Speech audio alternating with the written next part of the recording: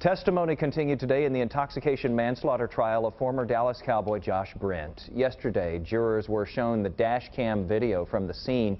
Today, they heard the 911 call that Brent made just moments after the crash that killed his teammate and friend.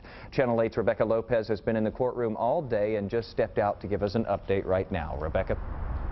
Well, this has been a very slow-moving trial. Basically, two witnesses in two days. The first two responding police officers have testified, although they are now calling some paramedics this afternoon. Also, the jury did get a chance to see some more surveillance videos.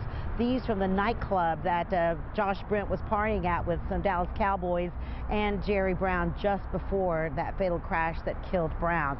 Now, again, that first new video they saw is Brent sitting in the back of a squad car. His head is drooping and he looks like he's got a bandage on his head. At one point, he begins cursing at the officer, saying that he wants his handcuffs taken off.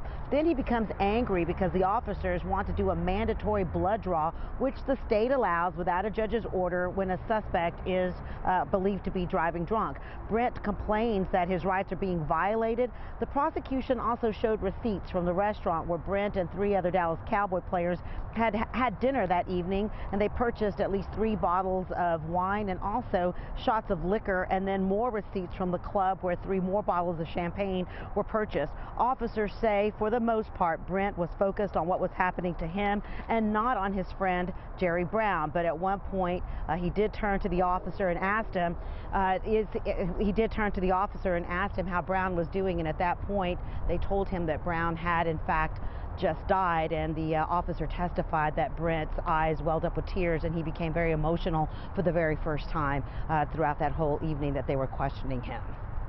Some people have been watching for this. Have we had any Dallas Cowboys actually take the stand to testify?